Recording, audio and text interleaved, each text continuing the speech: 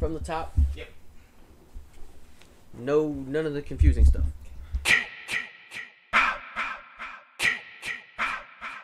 Boys, it's been a very long, frustrating, arguative, a bully road here. and I'm just glad that this is the last one we have to do review wise.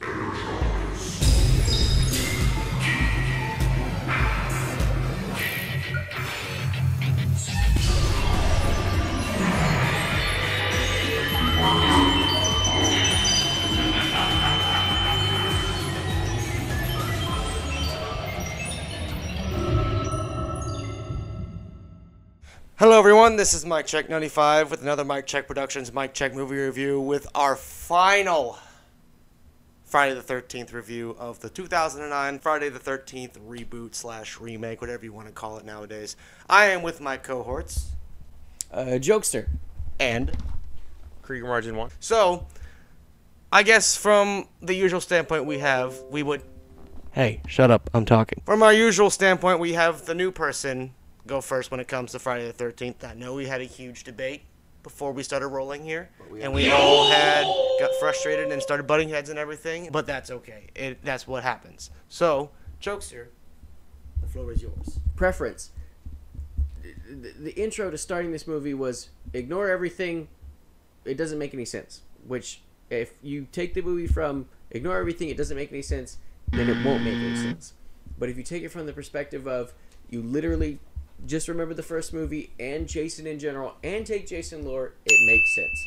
And what that is is in the beginning, if you ever get confused like I did, Jason isn't alive in the beginning. It's the baby Jason that pops out the water and dunks the girl in before she goes to the insane asylum in number one and just goes from there. And if you take that into account, this movie makes logical sense throughout the entire time. The science makes sense, even though it's like Jason's alive or Jason's dead. Jason acts like he would be He's fast. He runs around. He follows Jason logic. He doesn't talk. He kills horny kids. He kills horny kids in creative ways. And he pops out of the lake. Like both my cohorts said, it was really nice to see Jason run and Jason do things quickly. Jason stab people, Jason slash people, blood guts go everywhere, and uh everybody dies, which is always beautiful. And Jason gets to spend his time in his lake. Like I said, the science makes sense. There are some logic that doesn't make sense. If Jason is dead, then why would Jason need power? Um, but it would make sense that Jason would need food. The other is Jason doesn't kill anybody in the community, and all of a sudden these kids go to the camp and now he's killing people in the community. Well, it's like, well, he's stealing gas. Well, why does he need gas if he's dead? Now, if he's not dead, then that makes the entire first scene very confusing as to is this a redo of the beginning where it's 25 years after the Jason birthday killing? Why is Jason so young? Or is this the next day, which I get confused about whether the mother would search or not, blah, blah, blah, which is a long discussion. Movie wise, giving a movie rating, I feel like this is the best Jason movie ever. Having given my rating on number one, I would give it like an eight. I like this one. It was good. It was scary. It was cool. There wasn't a bunch of kooky stuff. So Jason teleporting, Jason having ungodly superhuman strength, and things like that. Those are wonderful. Those are cool. But them not doing that made it a little edgy, a little cooler. Like they felt like they could kill him. They felt like they could fight back. And so it felt like a really good movie all the way through. There didn't seem to be any plot holes, but there was the confusion of why would Jason do what Jason does, and is Jason alive or is Jason dead? So other than that, I would give this movie on a Jason scale a 10. On a regular scale, I really enjoyed it. It was really cool. Probably an 875. But there was a lot of confusion in it that needed explaining to make it so it's going to be an 875 and not quite a 9. My complaints and praises remain the same as the last time I watched this film. Um, it's a good film, um, but they tried to do too much in the film, which led to confusion. Is they tried to reboot the entire franchise going up to too many movies at once, trying to cover too much plot points without properly explaining things in the beginning. They went from origin of Jason, Baghead Jason, to current day Jason, all in one movie, which rushed it, and that took up half the movie for a completely separate group of killings that they did. The entire origin story was like a quick scene in the beginning that flashed during the credits in an annoying way. Um, so I wouldn't say this is a perfect film. Um, some of the acting is really shoddy. Um, mainly the douchey guy. Trent. Um, yeah, and the multiple sex, them having sex during multiple kills was always really annoying. I liked most of the other characters. Um, overall, but mainly he, he was kind of didn't make a lot of sense. Kills were great. He was really ruthless. Um, every kill was like fun. There wasn't one that I was just like, oh well, he's just gonna hack and slash and that's it. They're all they're all fun.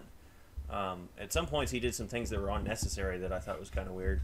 Like after he threw the hatchet and uh, the machete in the black hatchet in the black guy's back after he had already killed him. It's shown that he's in a hot tub. So after he was already dead, he picked him up and put him inside of a hot tub. That's Jason character. So- Jason has to hide the bodies in a fun way. I feel like they did that for cinematic, but you know, overall, I think it's a solid Jason film. Um, the mask is really cool. Um, even the ending, they're having callbacks to, oh, he's dead, and then, oh, wait, is he really there? And then, I mean, like he comes back and jumps at him. Now the question is, is that just like the old movies, where it was hallucination that they're having after the trauma they just went through, or is it actual, actually happening? Because that could have just been from that one chick's uh, point of view because who know who knew, knows how how much Jason fed her because she was missing for over a month. She might have been sleep deprived. Maybe she's hallucinating. They're all fine.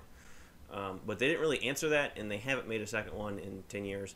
So uh, we probably will never see that answer due to court reasons. My rating for the overall for the film is a, is a seven and a half um, out of 10, which is my highest rated Jason film. That's my rating. Um, I'm glad to be done with this series because I like a couple of the movies out of the series, but overall, I do not like this series.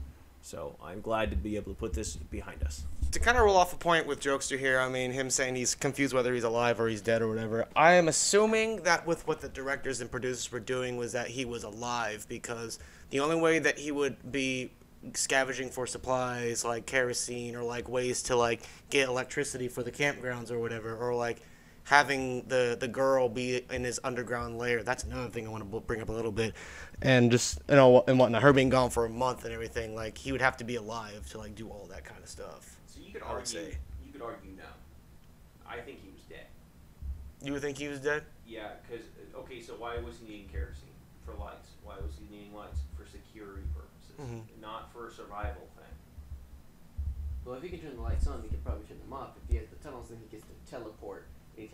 Yeah, that was that was probably the coolest thing of the whole like movie besides how Jason was portrayed in this film because this is my favorite Jason is the fact that they gave a reason how he teleports is cuz it's the underground tunneling system. Like that either that was already there or he kind of built off of it over the years because that is how he gets from point A to point B so fucking quick.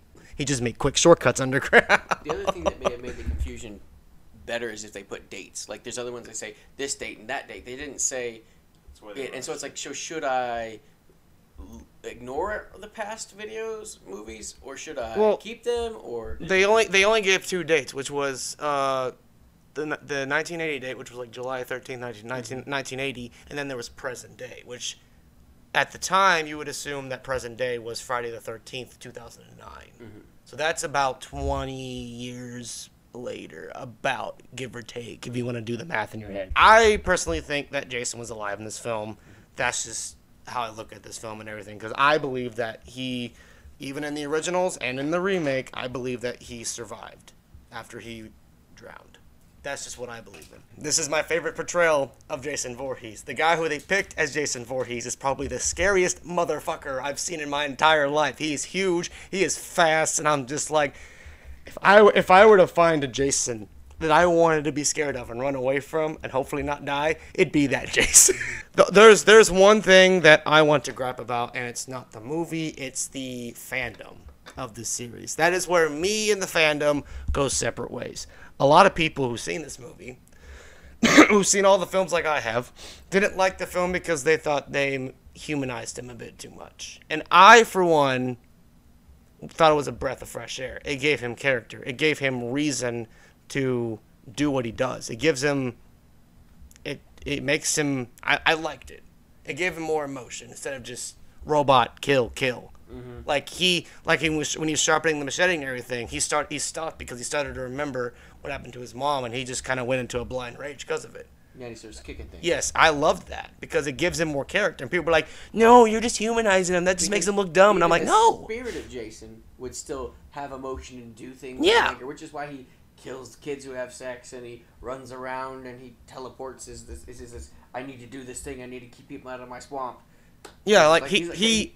He's a swamp monster. Stay out of my swamp. I feel like he does all that other stuff to keep the, the Mm-hmm. other people away, just to distract himself from that. Because if he's alone long enough, he'll just start rocking back and forth and and even if he was alive and there were no plot holes in the, the he's alive thing, him being dropped in the lake, it's like at that at that moment when they do the end scenes, like he then he becomes the uh, the, The swamp spirit. monster, the spirit of Jason, the the the the, the this is my swamp, stay away. I kind of feel like the lake just rejuvenates him. yeah.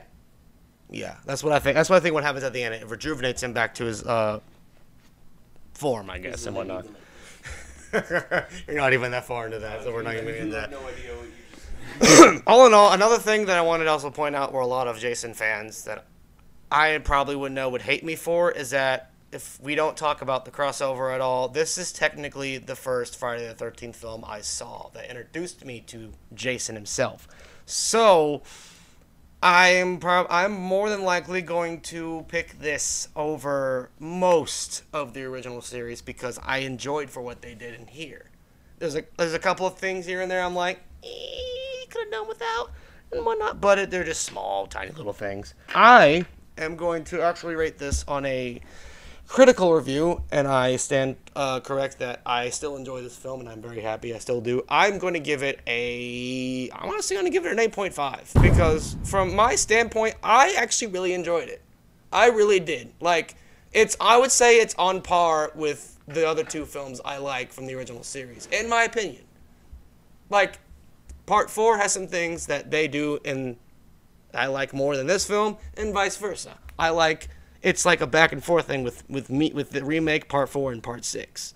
That and just it's the first one I saw. it, it kept good pace. The logic made sense, and that's why it does get the the eight point seven five. There wasn't anything in it that was like. Did it keep good pace though? that's that's one thing where I feel like uh, that's one thing. When I say keep good paces, there was never a part where I was like, "Man, they're taking forever on this. This is boring. It's not." See, that's where one thing I feel like uh, Krieger and I would disagree on is that back then we kind of agree that it felt kind of like rushed and choppy, but watching it again from like a standpoint, I'm like, well, they did cut out a lot of random bullshit that we didn't need to see and see again in the first two or three films. It just mm-hmm. was like, okay, mother died. Okay, that would make sense. I wish that scene was a little bit longer. The only other thing I wish they would have done different is I wish they didn't have that long 25 minute scene in the beginning with the original crew where he killed off one by one, and then title scene, and then the rest of the movie. That's another thing I didn't like. That was a good killing, though. Oh yeah, the kills were awesome. Oh yeah. Killing. That's what. That's when it's kind of twisted to the way. Is he alive? He has electricity. Jason doesn't usually use electricity. He just lives in the lake. But no, he's living in a house, and it keeps his mom's head by the candles. It's a sh- it's a I'd shrine. rather The of them have spent more time with the mom part than the than the baghead killings. Yeah. Like have have that be quicker, not have all the stupid exposition of everybody else. The, the kids just have, mm-hmm. hey, look, these are kids. Kill, kill, kill, kill. You're good. Um, or maybe some plot holes to the gap in between them.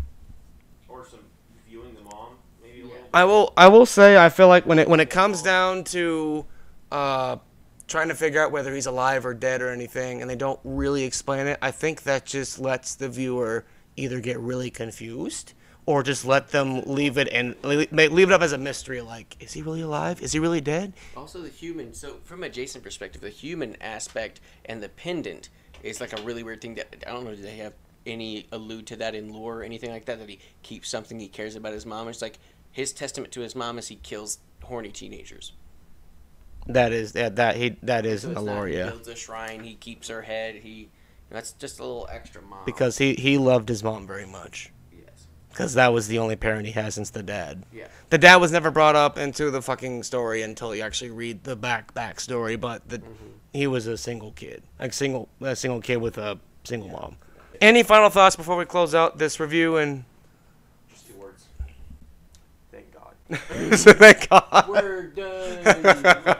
watch something from the twenty first century. So my last thought that I want to share is that, like, like I said, I am also very happy that I'm done with the series because from when I started this series, I started it two years ago, and now I'm finally done with it. We're done reviewing the series, but we have to talk about Jason one more time, and that is just ranking them. We don't have to go into depth detail about any of the movies in particular. We're just going to rank what we think is the worst to the best. So the next time you see us, you'll see us rank all 12 films. 12 films from worst to best. Or, I guess, in Joke's perspective, the 7, 8, 9, 10 crossover And remake in one. The seven films he saw. Midnight Tool Murderers Unite. this is MykeCheck 95 with another MykeCheck Productions MykeCheck movie review with my cohorts. Jokester. Krieger Margin One. And we are signing out. we are leaving Camp Crystal Lake finally.